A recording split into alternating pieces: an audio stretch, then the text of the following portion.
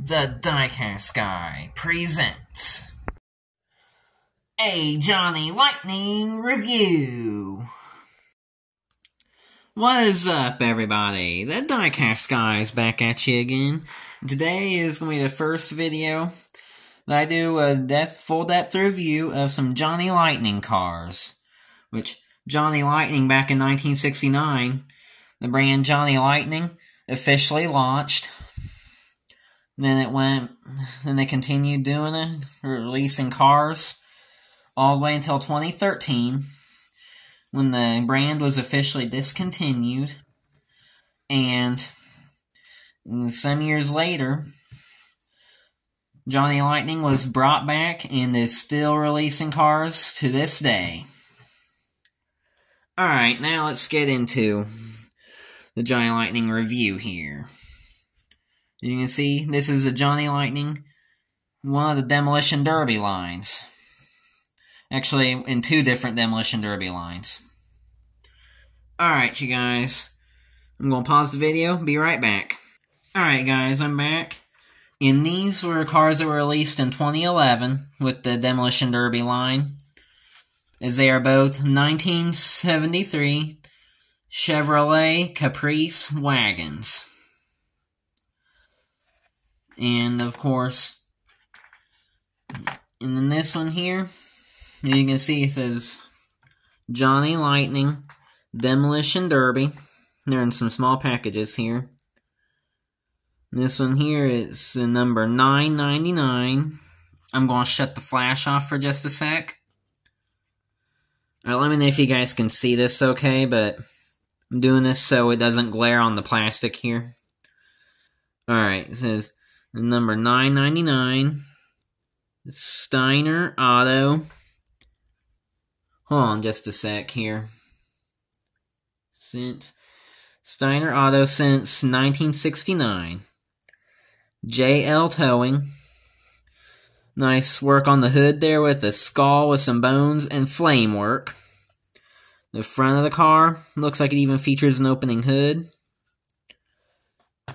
The back of the car and of course, I'm going to turn the flash on for this one for just a sec. Alright, you guys can kind of see that has rubber tires. And of course, um, and now I'm going to flip it to the back. You guys can read this if you want, but this was a release in 2011. Alright, I'm going to sit this car back off to the side and get this one. Alright, you guys. This is the same car, only has a different casting. The same Johnny Lightning Demolition Derby. Then here's the um the wording: 1973 Chevrolet Caprice wagon. And it says Crusher on it because that's what it is, and it's the Crusher, number 86. Looks like the driver must be named Harry Bell. And then the car on the front fender is Dirty Harry. I'm going to turn off the flash. Alright. If you guys can see this better, just let me know here. Alright, then we got this one right here. Buckeyes Pub. And here's the back of the car. With the muscular guy there on the trunk. And then the front of the car. Got the top of the car right there. Nice racing stripes. Number on top with the driver's name. And it says 402. That means it must have 402 horsepower. Alright, and then it even features, I guess it features um, plastic tires with silver linings and golden rims. Alright, let's see if we can get this camera to focus as I try to look at the bottom is this one here, I believe, features plastic tires. While this one features rubber. You can tell from the look. Alright, you guys. I'm going to flip it to the back real quick. Here's the same stuff on the back. Alright, guys. I'm going to get one more car. Be right back. Alright guys, this one's a 2018 release. Another Demolition Derby. As you can tell, this one's much different, and it has the stuff on the cover art. I'm going to turn off the flash real quick. Alright. Here we go. We have the car, number 40. This is on, on the wagon. Then it says off and off my on the wagon and off my rocker. like that one. Nice blue color with the red hood.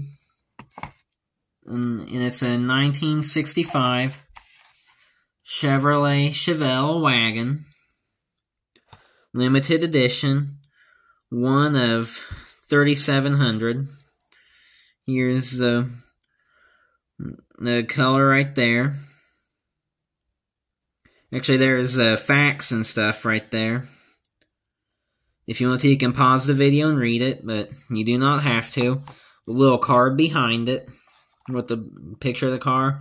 And the car even has rubber tires, black tires with orange rims, followed by a white line down the middle. Hmm. There's this right here. I'm going to turn the flash back on for a sec. As you can see, it features rubber tires. Not those plastic ones. And now, I'm shutting the flash back off. Here's all the stuff on the back of it. And if you want to, you can pause the video and read it, but you do not have to. It's up to you. Alright, guys that's it. That concludes today's video. Thanks for watching. Don't forget to like, comment, and subscribe if you haven't already. Thanks for watching.